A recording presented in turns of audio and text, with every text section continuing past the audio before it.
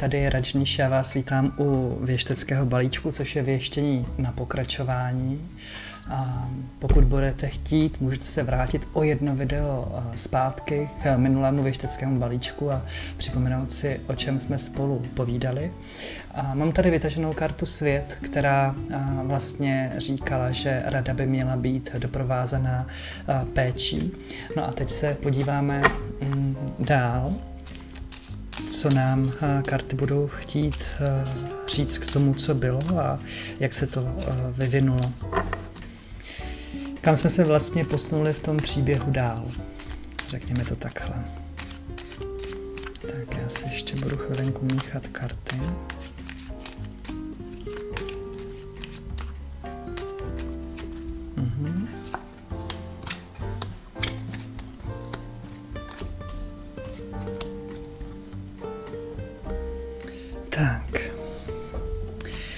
No, zdá se, že to eh, bylo pro vás eh, takové dobrodružství, ale uvědomili jste si možnosti, které máte v té své situaci, i když to nevypadalo, že by tam nějaké možnosti byly.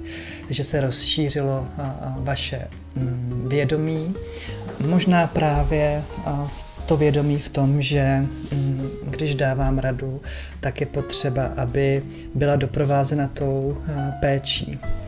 Mm, Nemyslím si, že by ta karta představovala to, že se vám vždycky eh, v těch záležitostech eh, dařilo, ale pokud eh, bychom měli říct, v čem se vám podařilo uspět, tak to je nastolení vlastně takové radostné atmosféry, mm, že najednou v tom životě víc než mm, nějakého planého mudrování a rozčilování se zkrátka začala objevovat radost.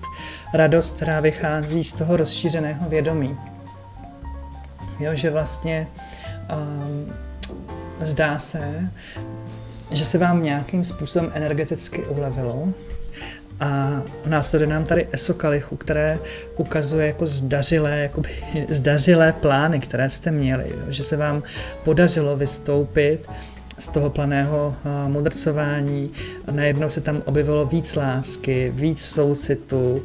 Um, to vědomí té lásky mně přijde, že tam je zcela jako klíčové.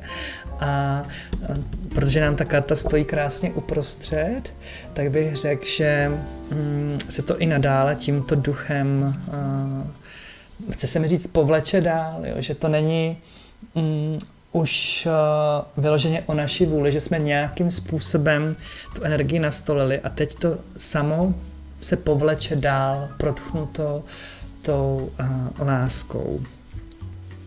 Hmm.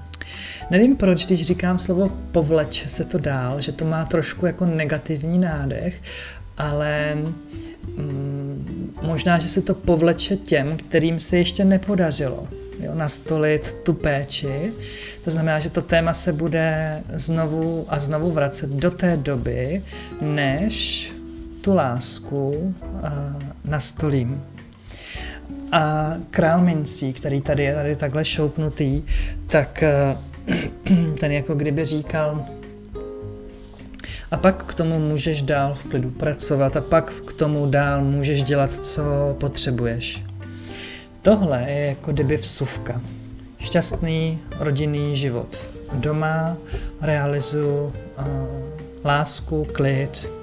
Mm, doma to potřebuju vlastně nejdřív nastolit, protože z domu potom tuto energii nesu dál do dalších sfér svého vlastního života, do práce. Takže moje snaha by neměla, neměla být, že začnu v práci vyzařovat tuto energii, z práce si ji už potom domů nepřinesu. Takže se potřebuji postarat o radost, štěstí, lásku doma, o to, aby to doma fungovalo.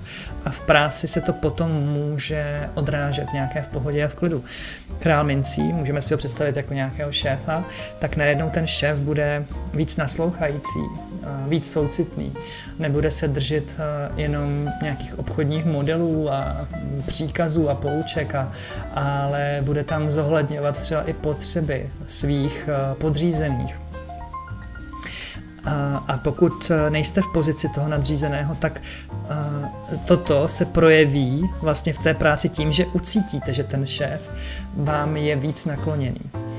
Mm, necítím, že by to mělo být o nějakém kalkulu, něco ve smyslu, no tak šéfovi ráno přinesu buchtu, protože jsem včera pekla doma. Tak to necítím. A přirozeně se tyhle ty energie vyrovnají. Takže pokud chcete, aby se ve vaší práci nějakým způsobem ulevilo, potřebujete doma nastolit tuto energii, která jenom jako vůně přejde mm, do toho pracovního pole. Když to říkám, tak toto se mi jeví ještě jako větší dobrodružství, protože a když to tadyhle nebude, tak si budete říkat, ty jo, zase jsem šlápla na ježka, pomyslně, nebo jinak řečeno, přišlápla jsem šéfovi kuří oko omylem a zase po mně vyjel. To znamená, že teda doma to nemám úplně, ne, potřebuje to třeba nějaký čas. Máme tady vzestupně dvojku, trojku, třeba tři měsíce potřebuju doma cítit pohodu a klid, aby se potom něco odrazilo teprve v té práci, že to nemůže být tak, že si toho všimnu, že to doma funguje a budu to automaticky očekávat, že se to naplňuje v pracovní oblasti. Já to můžu samozřejmě podpořit tím, já nevím, tak já neříkám, nenoste šéfovi buchtu, když jste ji upekli a máte ji doma moc. Neříkám, že to nemáte udělat, ale nemůžu vlastně čekat, že on bude mít na mě schovývavější pohled v tu chvíli, nebo že když mu splním nějaké přání, že bude ke mně milejší. Mm, chodí mi, že to není jako profesionální. A ve spojitosti s tím světem mi ten král mincí ještě říká, že šéf možná vám dá nějakou zajímavou radu, která bude právě protchnutá tou péčí, protože to bude fungovat i naopak. A že i on vlastně pod těmito kartami jako kdyby vyrovnával energie doma a potom do práce přinášel více té, té laskavosti a péče. Takže jsou tady cítit zřetelně v těch kartách dvě skupiny lidí. Ty, kteří na tom pracovali, možná ti, kteří viděli předchozí eh, věžbu z balíčku a předtím ty další. A mm, ten druhý případ je ten, pokud jste si tenhle ten pořad pustili poprvé. Takže tohle je jakýsi úkol, který, který vás čeká. No a když se podíváme na výsledek, tak nám tady jde uh, karta věže, která samozřejmě v tom klasickém významu představuje nějaké změny, které drásají naše nervy, ale tady je znovu cítím jako ten klíč doma. Doma je mm, to, co potřebuju nejvíc řešit. Dokážu si představit, když nám ta karta následuje krále mincí, že šéf mi a řekne, přišlápne kuří oko, stane se to naopak. A já si domů přinesu tuhle mrzkou energii, tím pádem klesnou energie té radosti, sdílení. A co teď jako? Jo? Teď je vlastně narušena ta rovnováha a já vlastně potřebuji, když se vracím domů, ty věci z práce vyloženě odkládat, že je nemůžu nosit domů a žít je ještě doma.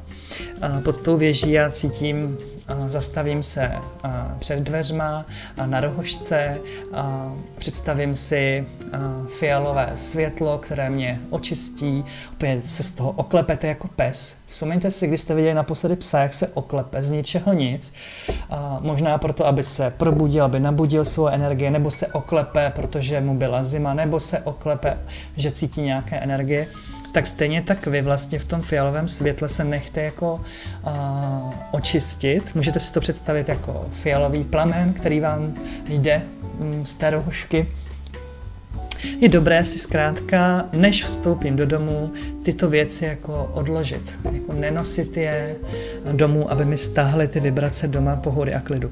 Neříkám popírat to cítím, ano, můžu být smutný, ale nepůjdu tam eh, v těch dramatech, které se odehrály třeba v práci, třeba tím, že šéf mi při, přišla kuří oko nějaké moje slabé místečko, už jsem si myslela, že to bude v pohodě a zase jsem udělala nějakou koninu v té práci, mi chodí a mm, zase se to celé pokazilo.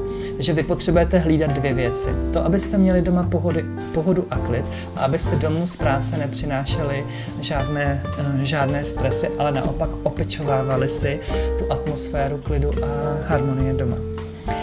Mm, cítím, že všechno ostatní bude potom jako únik, jo? že vlastně to budu chtít sdílet s tím svým partnerem, budu to chtít na něj všechno vysypat a to je jako chyták. Takže hm, držte se toho, abyste zažehli ten fialový plamen na rohožce, aby se se očistili. No a my se uvidíme příště. A uvidíme, jak jste se s tím popasovali. tak jo, přátelé, mějte se krásně, no třeba zítra. Papa. Zkrať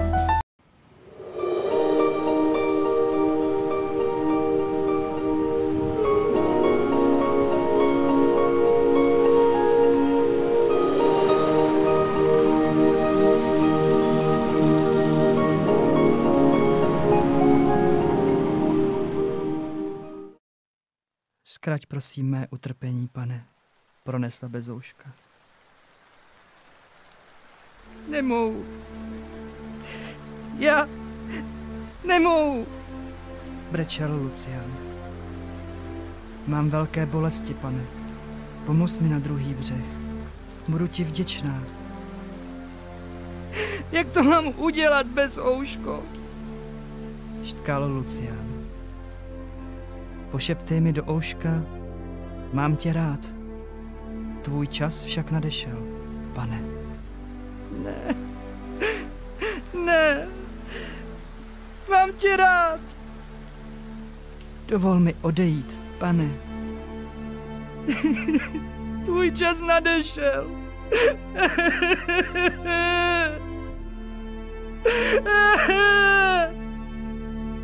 Lucián seděl u bezoušky a ta umřela. Její oči se zakalily. Z pootevřených úst ji vyšel dech, se kterým odešla i její duše.